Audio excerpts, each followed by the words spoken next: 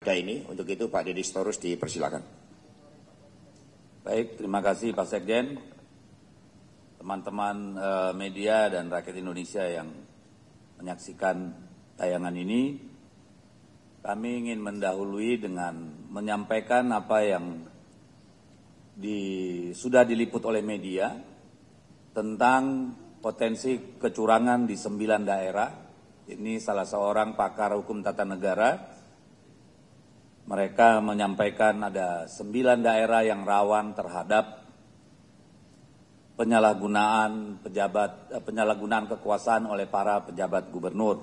Ya, mereka sebut Sumatera Utara, Jawa Barat, Jawa Tengah, Bali, Papua, NTT, Sulawesi Selatan, Sulawesi Tenggara, dan Kalimantan Barat. Sulawesi Utara. Dan ternyata uh, lebih dari situ masih ada daerah-daerah lain yang sangat kental uh, intervensi aparat yang tidak disebutkan oleh mereka dan kemudian kami alami.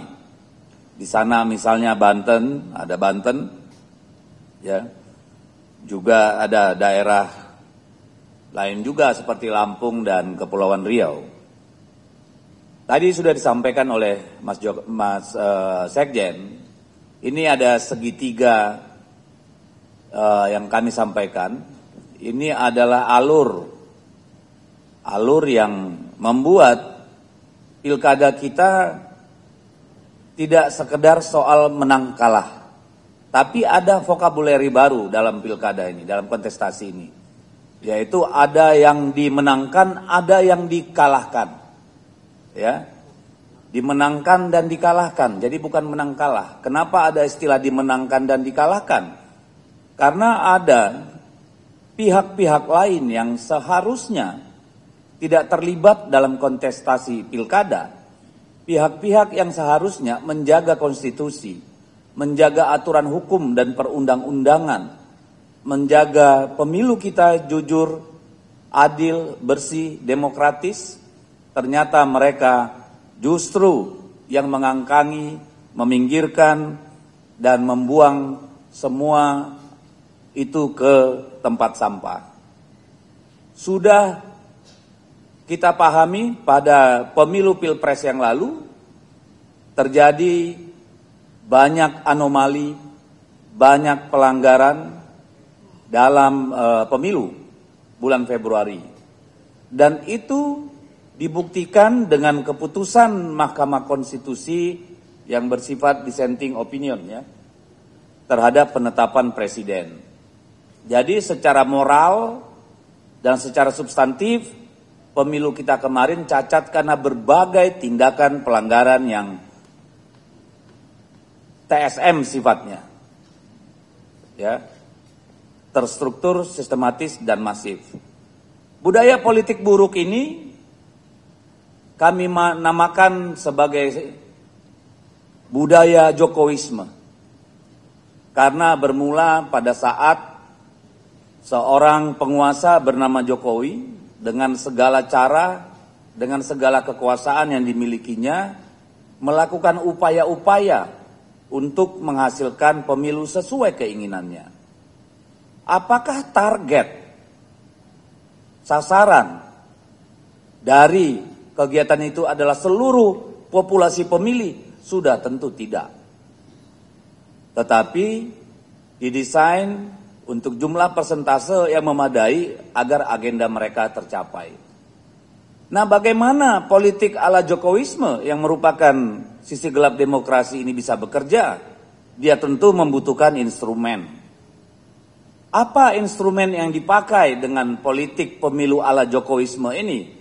Tentu sesuatu yang sangat besar, berjaringan kuat, punya kemampuan untuk melakukan penggalangan dana, penggalangan eh, kelompok-kelompok uh, tertentu yang sudah menjadi pengetahuan publik. Sekarang kita mengenal partai coklat.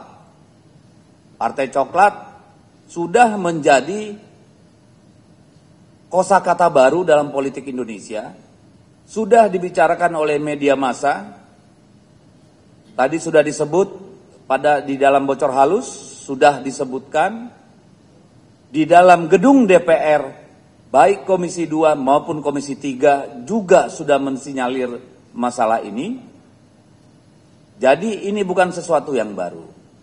Kami di PDI Perjuangan terus terang sedih. Karena yang dimaksud Partai Coklat ini sudah barang tentu adalah oknum-oknum kepolisian. Cuma karena tidak hanya satu, tidak hanya satu tempat, mungkin sebaiknya kita tidak menyebut oknum-oknum. Tapi ini sudah sesuatu yang bersifat garis komando. Dan saya kira pemegang kuncinya adalah Listio Sigit. Beliau bertanggung jawab terhadap institusi yang dia kendalikan, yang dia pimpin, yang ternyata merupakan bagian dari kerusakan demokrasi kita. Ini tanggung jawab yang saya kira harus dibeba, di, dipikul sepanjang sejarah nanti. Kawan-kawan PD Perjuangan, Ibu Presiden kelima, Ibu Megawati Soekarno Putri adalah orang yang memisahkan kepolisian Republik Indonesia dari Angkatan Bersenjata Republik Indonesia setelah reformasi. Dengan harapan institusi kepolisian menjadi instrumen negara untuk menegakkan hukum dan perundang-undangan, menjaga keselamatan rakyat, melayani to serve and to protect.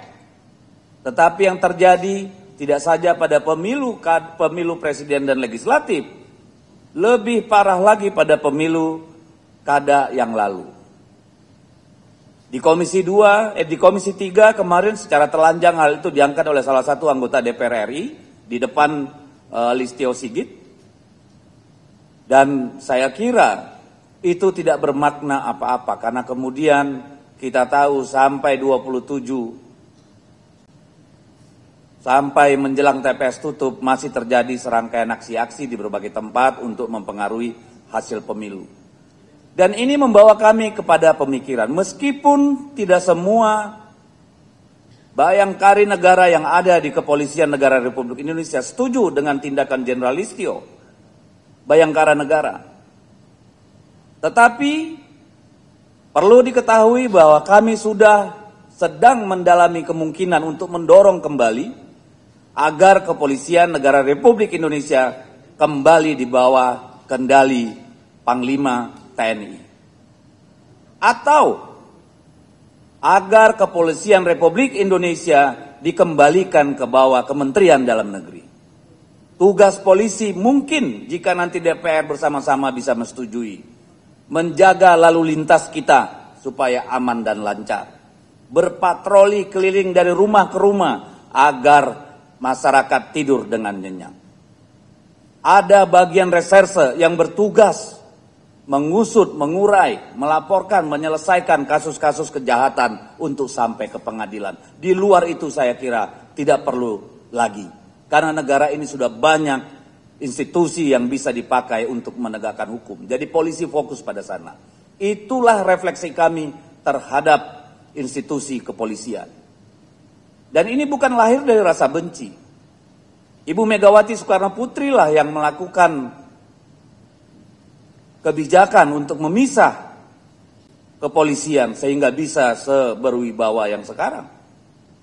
Tetapi ternyata dari apa yang terjadi dari laporan yang kami diterima, dari pemahaman masyarakat banyak, bahkan termasuk di gedung DPR, justru kepolisian menjadi masalah bagi demokrasi kita. Dan ini sebenarnya kesempatan untuk refleksi bagi seluruh bayangkara negara di institusi kepolisian.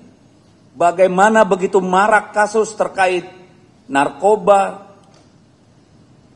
penembakan rakyat tidak bersalah, bahkan jenderal polisi bisa menembak ajudannya, sesama polisi saling tembak, ada masalah yang mendalam dalam institusi kepolisian, masih sempat-sempat cawe-cawe dalam pilkada.